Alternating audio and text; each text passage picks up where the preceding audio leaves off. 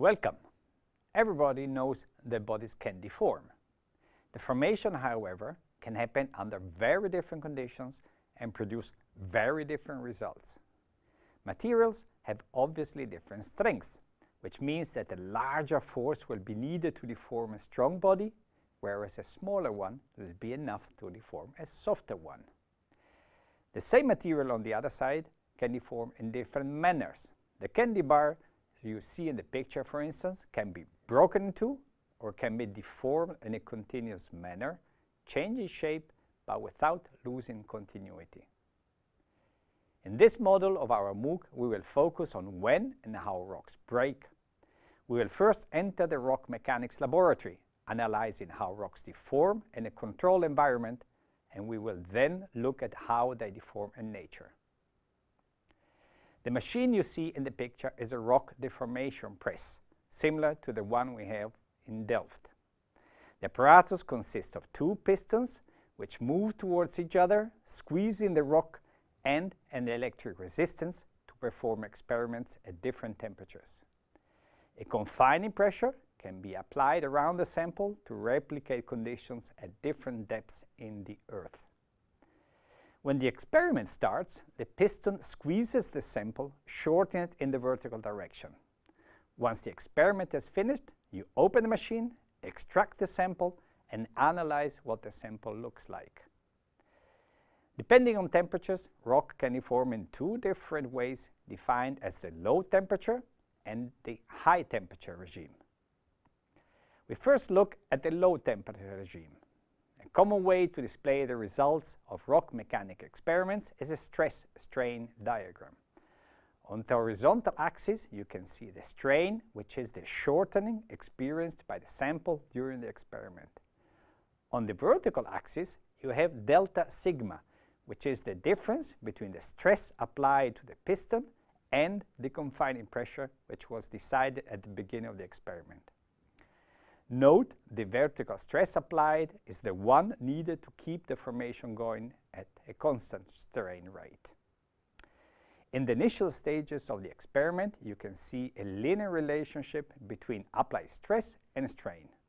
This means that deformation can only occur if the stress keeps increasing. If you would stop the experiment here, no further deformation would occur.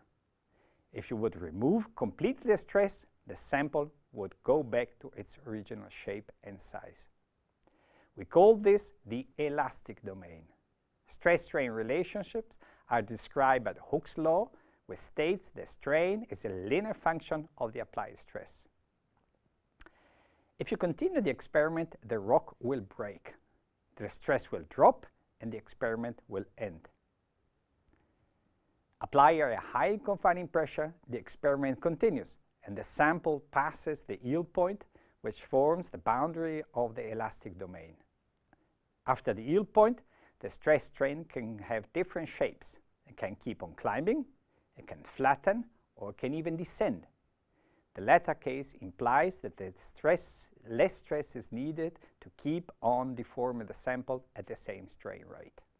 The sample has become softer.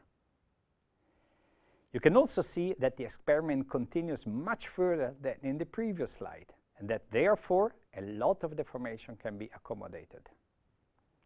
Open the apparatus and cut in the rock, we can see what happens in the various stages of deformation. In the first part of the curve, the sample develops a large number of small fractures spread over the entire rock. With proceeding deformation, old fractures become longer and new fractures will develop. Under low and intermediate confining pressures, fracture concentrate in specific part of the sample, eventually leading to the development of a through-going fault. This marks the end of the experiment.